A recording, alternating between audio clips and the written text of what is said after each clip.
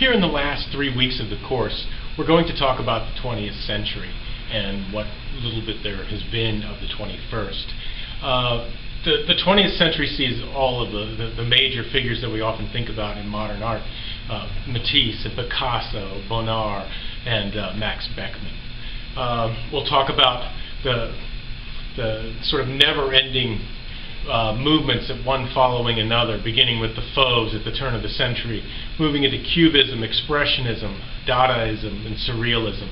We'll also talk about uh, the beginnings of, of pure abstraction, uh, and, uh, and we'll end with the abstract expressionists.